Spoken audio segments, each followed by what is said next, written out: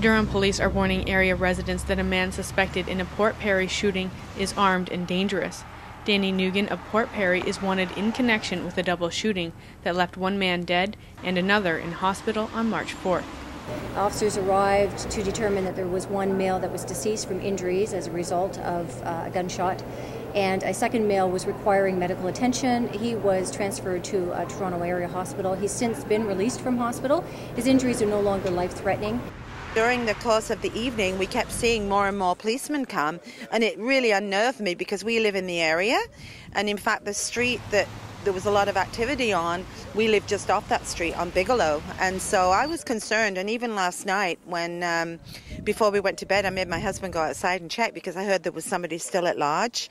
Police say the three men involved in the incident were acquaintances, and investigators with the homicide unit don't believe it was a random act. But some residents are still on edge. It's scary. I mean, you're within a small town, and you like to think in small towns these things don't happen.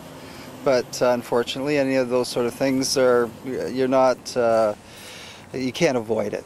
And this was a big shock because I drive down that street every day, and it's just, it sh- shouldn't have happened. It was really unexpected, but I'm not really too concerned, even though it happened five minute walk from my house. Port Perry is a pretty safe community, and it's probably just an isolated incident. Nguyen is described as Asian with a thin build, dark hair, brown eyes, six feet tall, and 140 pounds.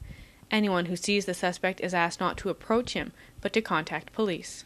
We have issued a Canada wide warrant for the arrest of a gentleman by the name of Danny Nguyen. He's 27 years of age from Scugog Street in Port Perry, and he's now wanted for the murder of victim Andrew Lee Shu, who's 43 from Morningside Avenue in Toronto. Police are urging Nguyen to turn himself in at the nearest police station. In Port Perry, Mandi Hargrave reporting.